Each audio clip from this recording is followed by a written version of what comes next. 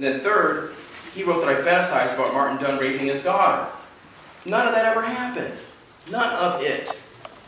Now what did happen though was Martin Dunn, and I have this in the record, I have copies for all of you. what did happen was during Martin Dunn's deposition, he laughed at the prospect of me being gang raped in prison. And it's in the transcript. Justice Dalianis and uh, the several other justices on the High Court allowed a white establishment lawyer by the name of Dan Mullen, a former AAG under Kelly Ayotte, when they lost the Planned Parenthood case, and, and she lied about it. Anyway, they allowed him to make a number of materially false representations about me in open court without consequence. And I filed a motion to intervene, and they denied it summarily. These issues need to be brought to light, so I will do so at this time. First issue involves a gentleman by the name of Ralph Holder.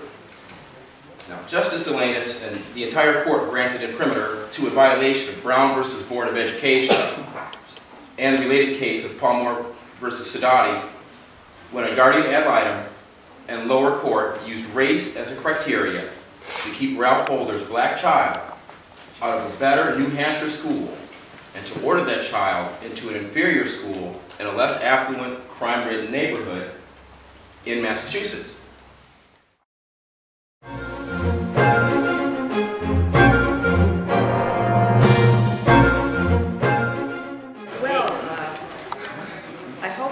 Serve the state. And uh, if that's true, then perhaps the country won't be any worse off. Well, therein lies the rub, because as long as you continue to violate known, established legal precepts like Brown versus Board of Education, when you did what you did to Ralph Holder, and as long as you allow bad cops like Martin Dunn and his lawyer, Dan Mullen, to lie about me and, and say that I was disbarred, that I had fantasies about Chief Dunn raping his daughter, and then I wrote a fraudulent letter when I was in NAACP uh, legal chair, you know, all these things that were false, but, you know, Chief Dunn was busy laughing about the prospect of me being gang raped in prison and you ignored that. No, as long as you continue to do those kinds of things, you're not going to be good for New Hampshire or for the country. And that's just the way it is. I mean, look what she condoned in my case. I mean, are you kidding me? Really? See, when you get up into New Hampshire, it doesn't matter how many trials you've won, or what kind of public policy you've changed in Nashua, who you've teamed with and, and done good things, or doesn't matter if you have a mayoral commendation. You're still a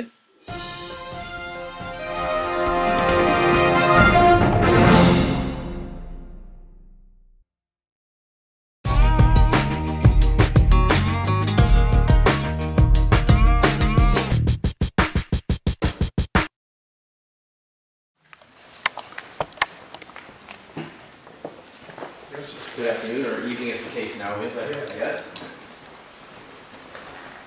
Ladies and gentlemen of the council, I come before you as someone who spent six or seven largely enjoyable years in New Hampshire before I moved to Boston recently, about a year and a half ago.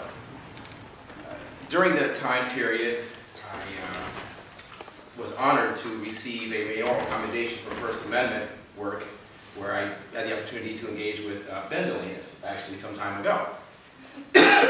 Excuse me. so I find that to be uh, quite rewarding.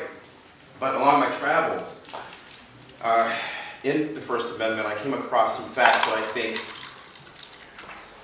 the council should be aware of with respect to Judge Dalianis and her professional tenure on the bench. I have two examples, and as someone who has practiced civil rights law, won civil rights trials, and served as an assistant attorney general, I think these issues need to be brought to light. So I will do so at this time. First issue involves a gentleman by the name of Ralph Holder. Now, Justice Dalianis and the entire court granted imprimatur to a violation of Brown versus Board of Education and the related case of Palmore versus Sidoti when a guardian ad litem and lower court used race as a criteria to keep Ralph Holder's black child out of a better New Hampshire school and to order that child into an inferior school in a less affluent, crime-ridden neighborhood in Massachusetts. I quote from the GAL and the court's lower. In AJ's best interest, I recommend that he attend the Burnham School in Haverhill, Mass. Furthermore, the issue of diversity is real. AJ would likely find it lonely being the only black child in a school in New Hampshire. He has a rich black heritage of which to be proud. He can share with and learn from other children of his color, and it can enhance his growing up years in numerous ways. In Haverhill, he has that opportunity far more than it exists in New Hampshire. And that was by Patricia Frim, Esquire, a court-appointed guardian ad litem. Now, everybody on the face of the earth knows that's unconstitutional. You can't use race as a criteria like that, and Brown versus Board of Education had that established before I was even born, ten years before I was born. And Palmore versus Sidoti said the same thing in a uh, child custody matter. Can't do it. I don't know. I mean, I grew up in an all-white environment, or my one of my brother-in-law is white. I, I'm okay. Well, some I differ with that, but I think I'm all right. But the bottom line is, it can't be used as a criteria. And, and I, can't, I can't believe that that could just happen like that in a civilized society, in, in a modern era. It's impermissible. Now, it got a little bit worse than that, too, because along the way, I have proof in my research that the uh, ethical board and everybody in the judiciary lied to Ralph Holder and told him that guardians ad litem were not subject to ethical uh, considerations at that time. But that's not true because the case, in Ray Boyle's case, 136 New Hampshire 21, 1992 had come up, stating specifically where attorneys serve as guardian ad litems even if the child is not a client. Attorney's conduct is nonetheless governed by the rules of professional conduct. Yet when Mr. Holder tried to uh, address his concerns, he eventually was framed and made into be a fugitive from justice. That got cleared up. Bogus charges were brought against this man. By the, the whole thing was just deplorable. But he got no relief from the New Hampshire Supreme Court. Nothing. So he just sat there. And I mean, this is in the recent era, just a few years ago, this happened. So I think that's one issue to be aware of. And the second one, I think, is equally appalling. This involves a case in which I was involved. There was a Jaffrey police chief named uh, Martin Dunn. Martin Dunn was fired, and it was affirmed by former uh, AG John Arnold. And now, along the way, he got sick. Allegedly, he said that when I was in the NAACP legal chair, he, he developed a number of illnesses.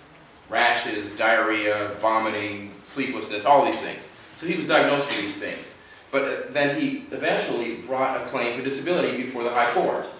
His lawyer, another white establishment lawyer named Dan Mullen, lied and in the pleading said I was disbarred, which is a lie, never been true, never will be true. He said that I wrote a fraudulent letter when I was NAACP legal chair.